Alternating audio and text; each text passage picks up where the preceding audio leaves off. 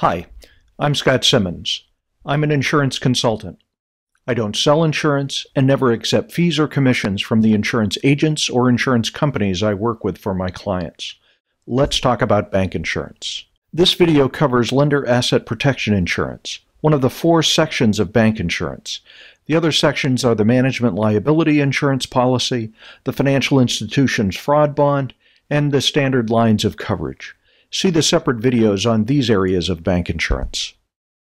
This is a special part of the insurance world. Specialty brokers manage programs designed specifically to cover banks. I found that it's almost always better to have a single broker handle all of the lender asset protection policies. This allows coordination of coverage and a streamlined process.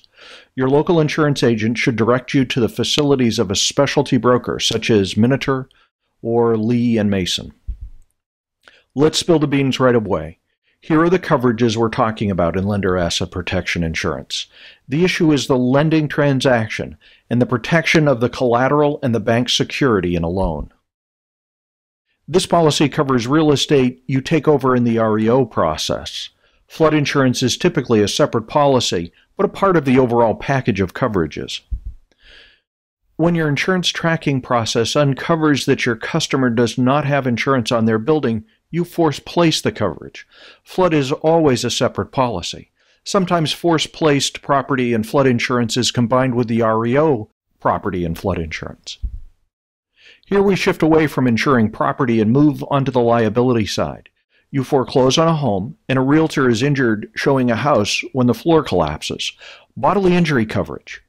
I prefer the liability for REO properties be on the bank's general liability policy the same policy covering the bank branches. This gives the additional protection of the umbrella policy, so you get higher limits of coverage. Mortgage impairment takes care of mistakes made in the administration of the lending process. The most common issue is a lack of insurance on collateral. For example, a customer fails to buy insurance, they have a fire, then you find out there's no insurance. Coverage can also include errors in the administration of taxes, deed filings, loan guarantees, credit life insurance, and flood zone determination. Up until now, we've talked exclusively about real property loans. Here, we cover the collateral on chattel cars, boats, planes, motorcycles, commercial equipment, snowmobiles. There. In three minutes, that's lender asset protection insurance.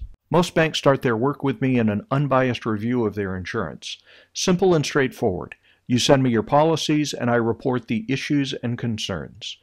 We then work through the mitigation of the issues.